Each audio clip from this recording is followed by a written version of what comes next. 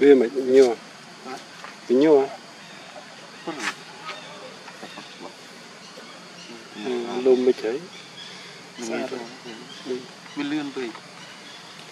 Cho nên về Ăn. Cho bạn